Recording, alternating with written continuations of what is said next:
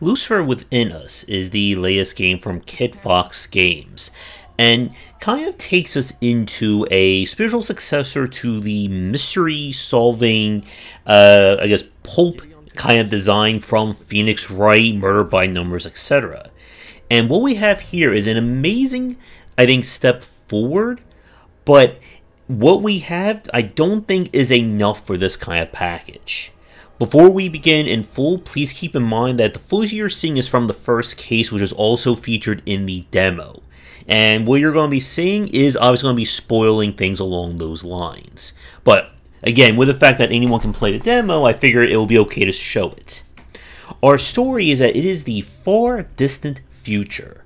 And we kind of are in cyberpunk super religious territory. People are all have been cybernetically augmented, and it seems like after 100 years of peace, demons have begun to infect and start causing evil in the world. So it's up to our friend and exorcist Ada here to figure out who is committing murders, how and when they did it, and what demon is possessing them. So the game itself is all about essentially the timeline that is shown in the bottom of the screen. And with the timeline, you're able to view the evidence and witness statements from the people in each case, and the max you're going to get is three. Your mission is collaborate what really happened at each part of it because they either don't remember it or they are outright lying. And as you kind of uncover the truth, you can contradict them at any time using either somebody else's statement or evidence that you have in the bottom left which in turn will unlock more of their psychological profile, as well as change and update their timeline going forward. And it's a very clever and very streamlined way of doing this kind of investigation work that we saw kind of become very uh, prodding or plotting and clunky with Phoenix Wright and some of these other games. And with it, you're able to basically keep track of all the information that you have. Now, one thing that is very important to keep in mind with Lucifer Within Us is that this game is 100% linear and handmade. So as you play, there is always going to be one set of clues that's going to uncover the truth. There's always going to be one, obviously, murderer. And the game is really set up, again, as more of a story that takes place in this very interesting and well-defined world. I like the aesthetics that they're going for, and everything kind of leads to a somewhat satisfying conclusion that we'll talk about without spoilers, obviously, in a minute. Unfortunately, this is going to be a very quick review of the game because there really isn't a lot that I can talk and discuss without going outright spoiler. So, while the basic gameplay works, after this quick break, we're going to talk about where, unfortunately, Lucifer Within Us doesn't quite have the legs for a long investigation. And now for a quick shout out to our current Game Wisdom supporters and sponsors. Going forward, all Patreon supporters will get early access to our videos.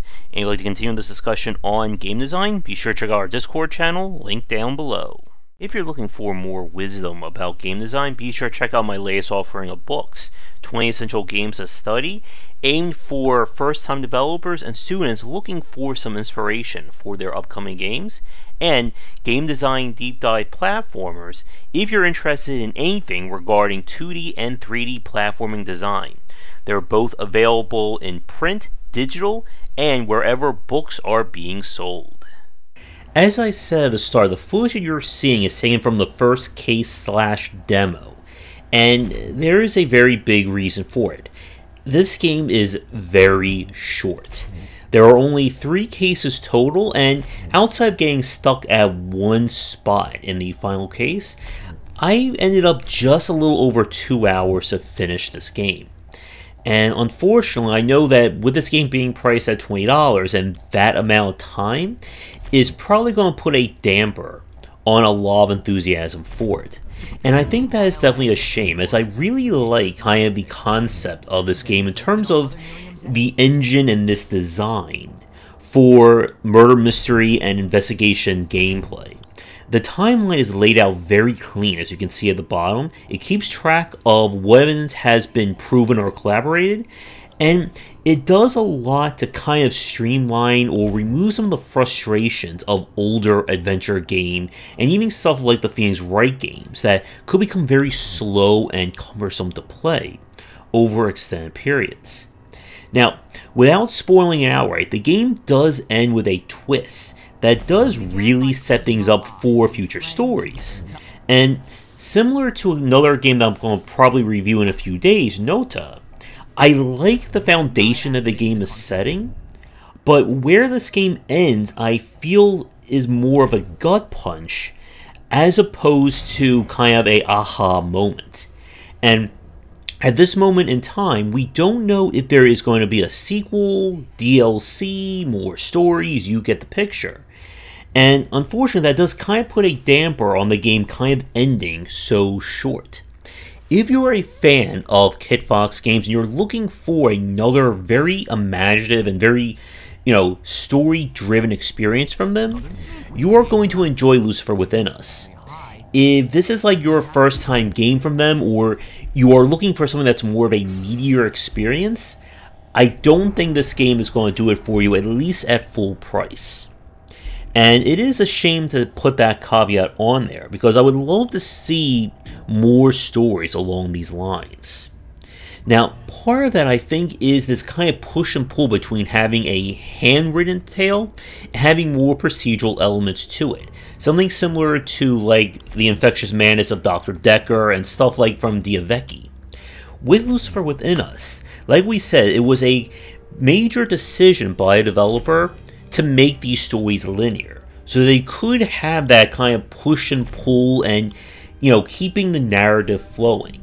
And if you want to learn more about the design of this game, I'll include a link to my interview with the developer in the description down below. And I would like to thank Kitfox for providing me with a press key to check this game out. But ultimately, like I said, if you like what you're seeing and you don't mind the length, I would say give this one a check. I would like to thank the developers for giving me a press key to check this one out. And if you are working on a game that you want me to look at in the future, please don't hesitate to get in touch.